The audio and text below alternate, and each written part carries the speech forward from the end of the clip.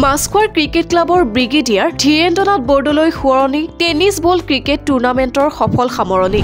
Galaxy sports ক্লাবক পৰাস্ত কৰি champion দল ৰাজুৰিয়ান টুৰ্ণামেণ্টত মুঠ ছষষ্ঠিটা দলৰ অংশগ্ৰহণ।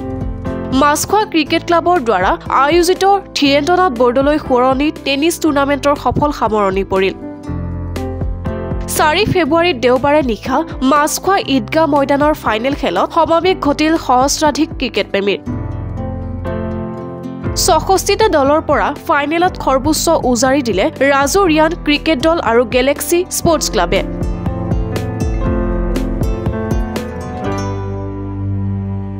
দৰ্শকৰ উল্লাসত জীপাল হ'ল ফাইনেল খেল। বহু উত্তেজনাৰে ভৰপূৰ খেলখনৰ শেষত চাৰি উইকেটত জয়ী হয় ৰাজু ৰিয়ান ক্ৰিকেট দল।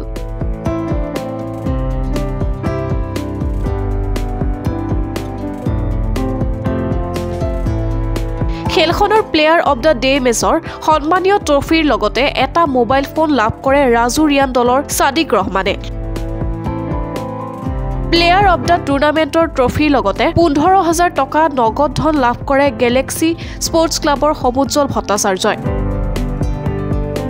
লগতে চেম্পিয়ন দলক ট্ৰফিৰ লগতে এক লাখ টকা আৰু ফাইনেলিষ্ট দলক ট্ৰফিসহ পঞ্চাছ হাজাৰ টকা আগবঢ়াই উদযাপন সমিতিয়ে।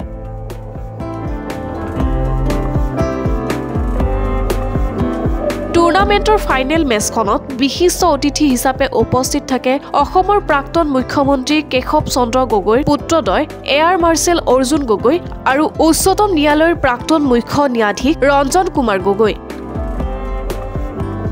বিশিষ্ট অতিথিসকলৰ হাতেৰে চেম্পিয়ন আৰু ফাইনেলিষ্ট দলৰ লগতে বিভিন্ন বঁটাসমূহ বিতৰণ কৰা হয়।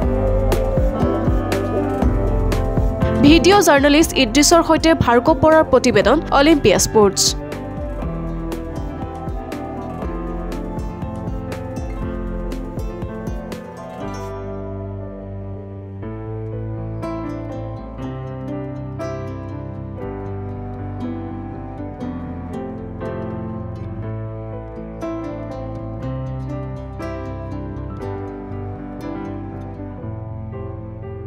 Bye.